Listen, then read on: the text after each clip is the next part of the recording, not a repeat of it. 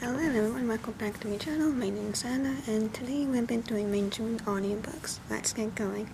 So I feel like I've a pretty decent amount of audiobooks and some were out but, but mostly pretty good as far as the ratings go. Yeah, so let's just get going. So my first book was Spice World by Maiya Ibrahim and this is like an Arabian inspired lad. She was raised to protect her nation from the monsters lurking in the sands, 17-year-old Imani must fight to find her brother's betrayal, whose betrayal is now the greatest threat. So, I gave this a 2-star, and the only thing that I liked about this book is that it's set in the Middle Eastern and the magic system. The magic system was like tea magic, so I liked that.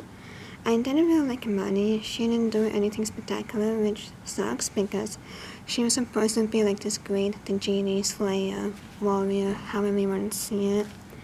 But she never really did anything despite being constantly told that she was the great, but we just never got to see it. She's also really privileged, but she doesn't even know about it.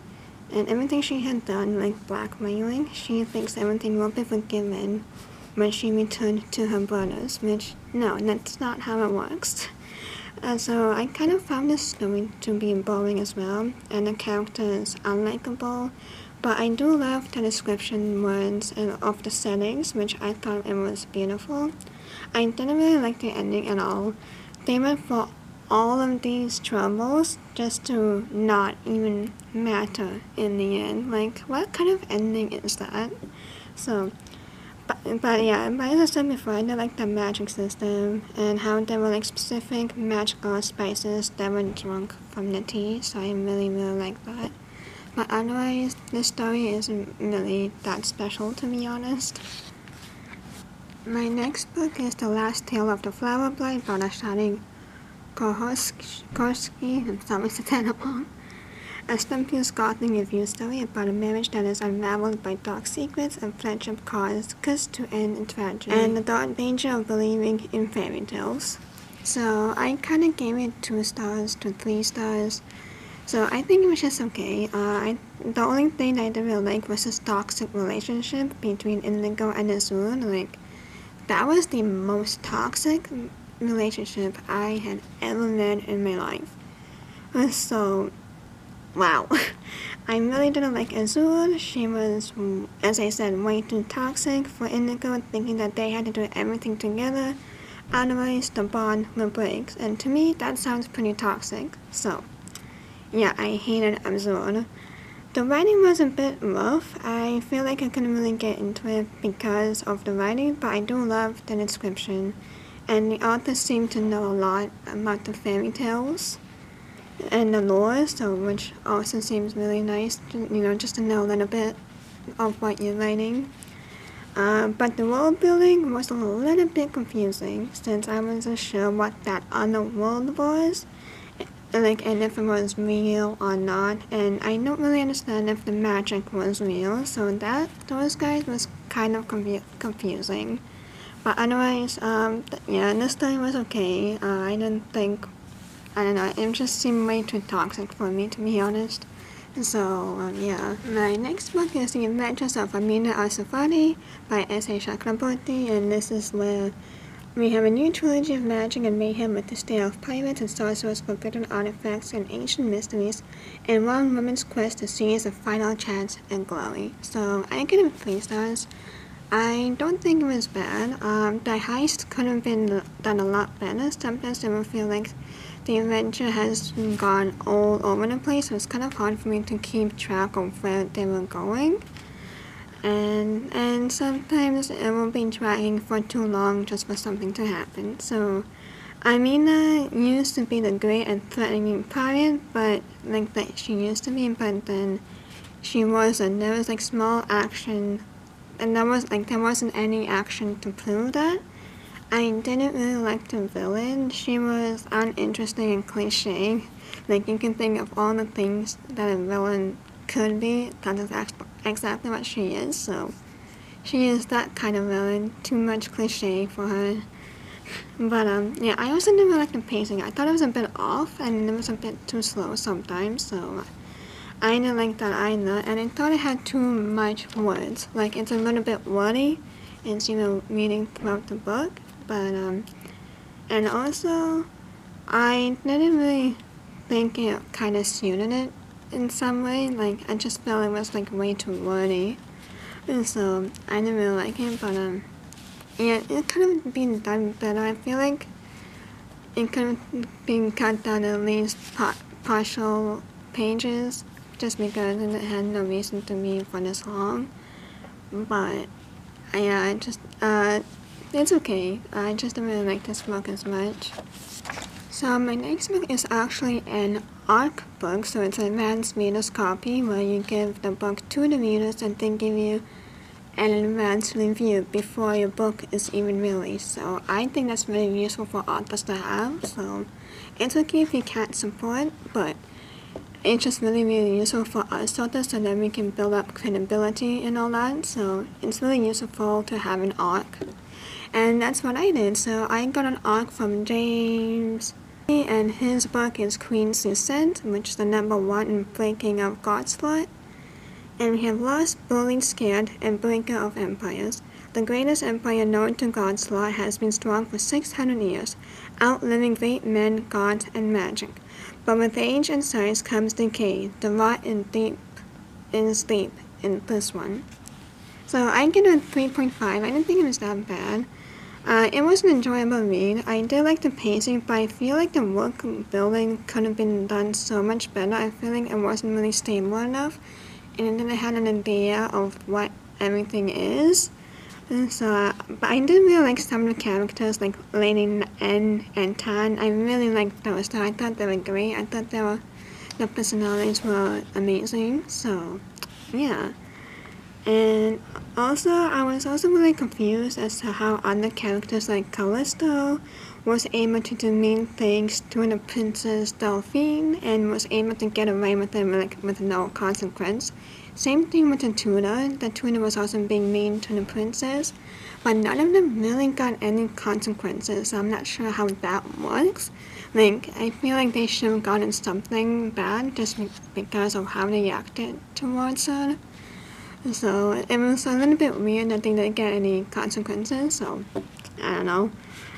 Uh, and the ending was okay. Like there was this certain scene on with the father who was enraged. He was really mad during a battle scene with his daughter, and then all of a sudden he was okay, like happy. Well, he was like really happy, which just settled a little bit. It's like that was a fast transition from being enraged to settling. So I don't know. so that's kind of weird. So yeah, and but yeah, overall it was a really enjoyable read. I think everyone should read it, but I feel like the world building could have done a lot better. So I hope he has fixed that, because the world building really does seem promising. So yeah. My next book is The River of Silver by S.A. Chakraborty. I give it a 4 stars. And this is basically like a confirmation of stories from the original trilogy, the Daevabad trilogy. And I'm basically getting from all uh, characters that were in the book. So, like, as well as having scenes that were not in the book as planned. So, I actually don't have too much to say about this, but I actually really, really love it, and it was actually this book that got me inspired to reread the Daevabad trilogy. Like, I actually really want to do a reread, so I do also want to make a vlog out of it. I think it'll be fun. But uh, basically, I thought it was just a nice addition to the Daevabad trilogy. I really like Zaynab. I think that was a character, but I think it was his that character where it had the flag. Spoilers. It had like the enemy's flag and how it was raised. I think that was a part of his perspective. And um, I was actually sad that that part wasn't in the book because I really think it would have been such like a huge significant part of the book in the last in of like the finale of the trilogy I think that was happening. So honestly I'm really sad that that cut didn't make it into the original because just because I feel like it was really important and so yeah but it was fun seeing some new characters some old like and it was just a fun read, and I'm excited and got triggered to reread the original, so I can't wait for that one. My next book is The Residence by Andrew Pyper, and this is like a ghost story that is based on the events of the president's, president's late son haunts the White House, threatening all who live in it and the divided America beyond the walls. So I mean, I've actually known that the White House is haunted, so I thought it was pretty cool to read something of the White House that said to be haunted. So I give it four stars. I actually liked it. I thought it was fascinating to have like the mix of the hauntings in the White House. Even as I said before, I already knew that was haunted. So it was fun to read that spooky aspect of the White House. Um, in the beginning, I felt it was like really sad and despair as well as hopelessness, but terror, but like all the terror and the action was towards the end, so it was kind of like you know like a wave almost. but uh, I kind of liked how everything was wrapped up. I was a bit annoyed by Jane's behavior, which I understand losing a kid is not easy, it will never be easy, but I feel like Jane's behavior was just a tad overboard. I don't know, it just kind of felt weird, like almost, so I'm not sure how much, like I know this bill will affect you so much, but the way how Jane will has behaved, I'm not sure it will go to that extent. Let me know. But um, yeah, I thought it was a little bit too much. But otherwise, I did like Franklin, you know, who eventually understood what was happening in the White House and what was happening with his wife and how everything just came down. So I thought that was like a really nice touch up and all that because from what I can remember, uh, he kind of didn't really believe what was happening with Jane. He thought he she was making things up. So I feel like him finally coming to his senses like was a really nice touch. And my next book is The Unheard by Nikki Nichi French. Um, a single mother suspects her young daughter has witnessed a horrible crime and she draws a disturbing picture, but the daily path to unravel the truth could cost her everything. I gave it a 3 stars. I didn't really like Tess just because she was annoying and a lot of her actions seemed foolish. Most of the characters were unlikable, but I did like the mystery, which I thought it was a done job well done. I feel like there was something, some things that had been repeating, and the ending wasn't exciting. It could have been done better, but it just wasn't quite there. It was dull with the police just walking away with the culprit. That was all the ending it was, not just the police taking away the, murderer. So yeah, it was just felt completely flat and dull. So I, I thought it could have been done better. And the story seemed to have dragged on quite a bit, but I thought the pacing was good. There were some things that didn't really make sense, and I honestly felt a little bit bored. So, yeah, not not much to say about this book. It wasn't bad. It was just, I don't know. Like I felt like the book could have been more polished. And so it wasn't bad though.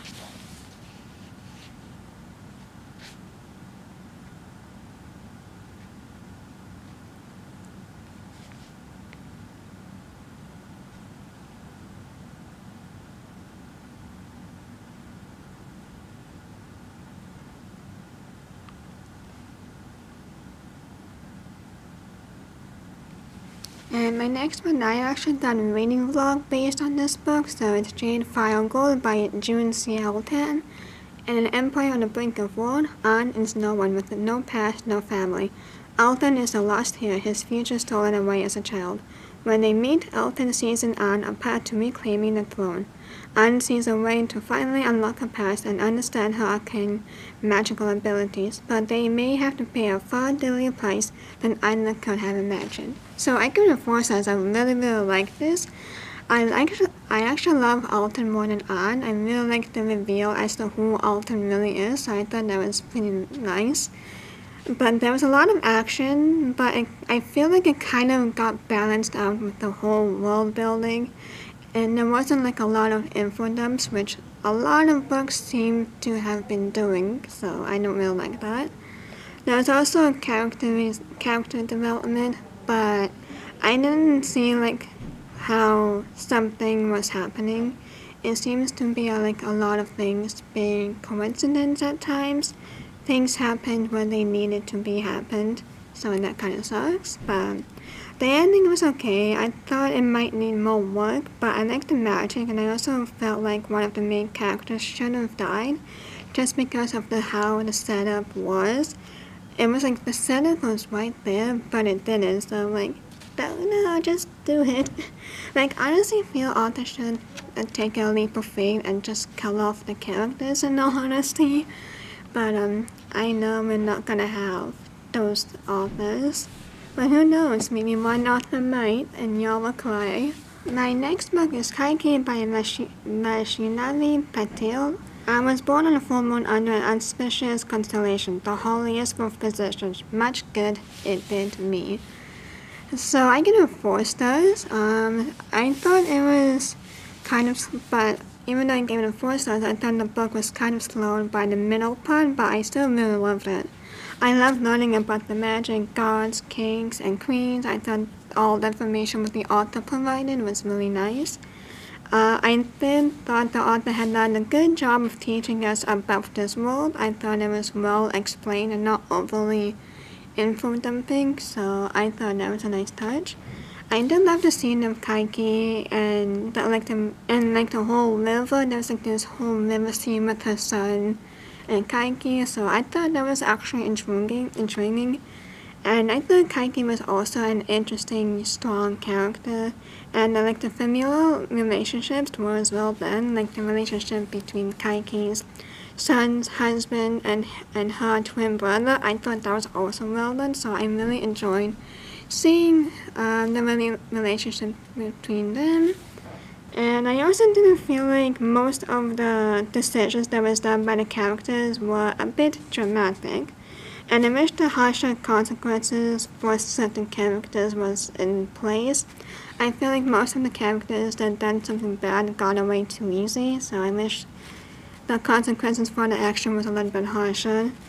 But um, however, while I did enjoy it, upon reading the reviews, I don't know too much about Kaikeyi and how bad it is.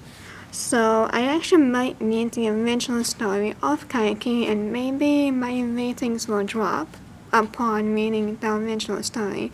Because I have read the reviews and some of them seem to be a little bit mixed, so I might go and read the original. But um, yes, so that's all my audiobooks. Uh, I don't have a TV on. As I said, I'm taking a break from reading.